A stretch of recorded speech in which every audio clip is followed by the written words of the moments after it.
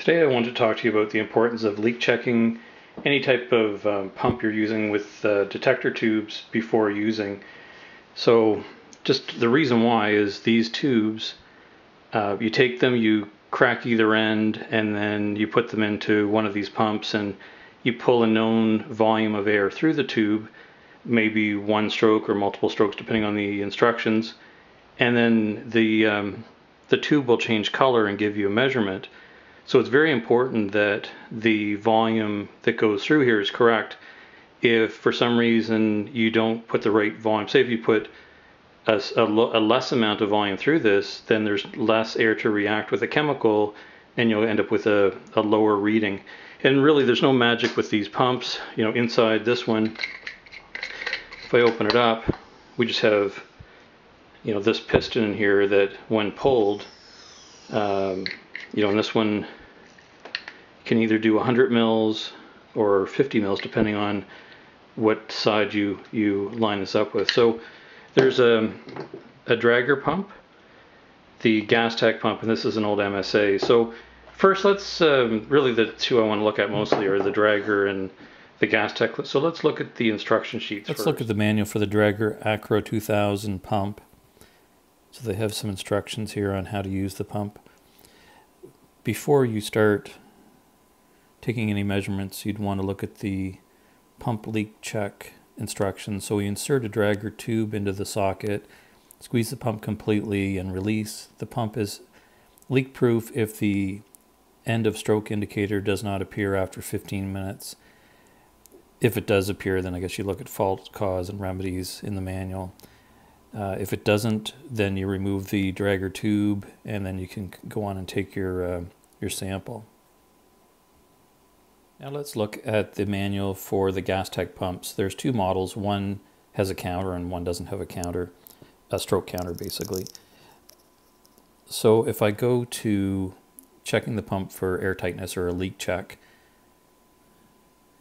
we want to make sure the inlet clamping nut is firmly tightened so the top part of the pump or the or where the tube goes in put an unbroken tube into the pump you line up the 100 uh, 100 cc mark uh, with the line and then pull out the pump.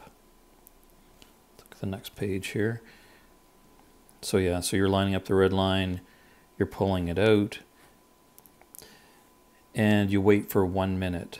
So you the leak check takes one minute and then you twist the handle of the pump to release it like a quarter turn and then you see here at the bottom that if the uh, if it goes all the way back in then you know there was no leak and if there was any leak you'll actually see how much it leaked if it if the plunger doesn't go all the way in basically okay let's start with the Drager pump first first you take a tube put it in to the pump firmly and then you can see this end of stroke indicator is white right now. When I, hopefully the camera is catching that. When I compress this, that is going to go away.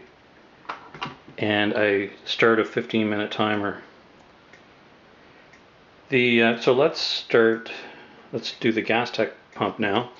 So you would make sure this is tight, make sure this is all tight because I had this apart earlier and I take the tube unbroken again just like in the, the Drager pump and I line the 100 mils up with the 100 uh, mark on here, the red mark, and I pull this.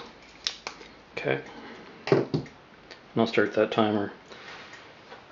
So these leak checks should be done at the first of the day to ensure you're pulling the correct volume of air through the tubes. But also you know, if you're out there and you're sampling and you get a strange reading, and this happens, I'm sure, quite a bit, where someone pulls a tube and other people question if that value is right or not, then it doesn't hurt to do a leak check on the pump again to make sure nothing has changed with the pump and uh, and retest it.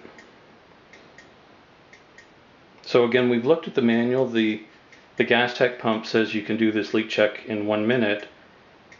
Uh, the Drager pump in their manual says it takes 15 minutes and there must be a reason why they, they say 15 minutes. So right now we're coming down on the last couple seconds on the leak check of the Gastec pump So what we do now is start my stop my alarm there. Just take this and twist it a quarter turn. It releases, and if it goes all the way back in, there's no gap in here, you know that there was no leak, so you can start doing your sampling now.